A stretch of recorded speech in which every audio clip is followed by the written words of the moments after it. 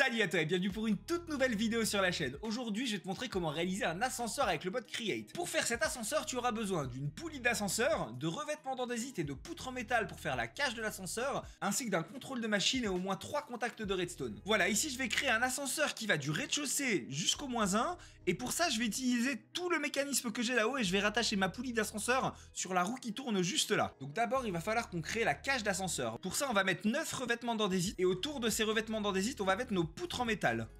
Ici, moi, je vais en avoir besoin de 5. Ensuite, on vient refermer le haut de l'ascenseur avec à nouveau des revêtements d'andésite. Moi, j'ai une cage d'ascenseur assez élancée parce que c'est le design qu'il me faut pour ici. Tu peux la faire ou plus petite ou plus grande, hein, c'est vraiment toi qui vois. Maintenant qu'on a construit la cage d'ascenseur, on va voir pour le système d'étages. En effet, l'ascenseur, pour qu'il comprenne les étages, il va utiliser les contacts de redstone. Donc, ce qu'on va faire, nous, c'est qu'on va monter ici.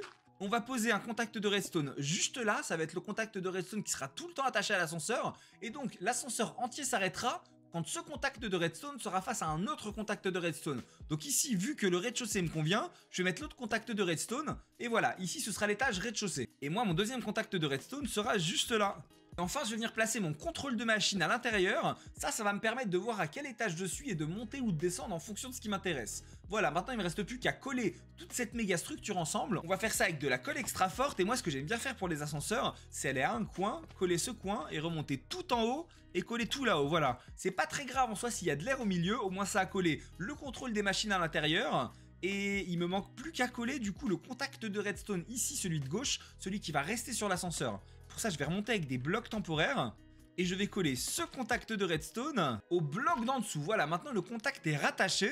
Je vérifie, mais normalement tout est bon, voilà. Maintenant, je vais rattacher la poulie d'ascenseur à un courant, ici à ma grande roue juste là, tac. On voit qu'elle tourne, et pour rassembler l'ascenseur, je m'assure que l'ascenseur est juste en dessous, je clique sur la poulie, et voilà, on voit que la poulie est descendue et a attaché l'ascenseur, les contacts de redstone sont actifs, ok, on voit que l'ascenseur fonctionne, on va maintenant le tester, on est à l'étage 1, on va aller à l'étage 0, je clique dessus, et voilà, parfait, ça me fait descendre à ma salle d'automatisation. Et quand je veux remonter, je monte le niveau 1, je clique, je remonte Voilà comment faire un ascenseur avec Create. Si jamais tu veux partager avec nous tes créations d'ascenseur, n'hésite pas à rejoindre le Discord. Abonne-toi à la chaîne pour ne rater aucun tutoriel et surtout, surtout n'oublie pas de like la vidéo, c'est très important. Je te retrouve dans la prochaine. À toutes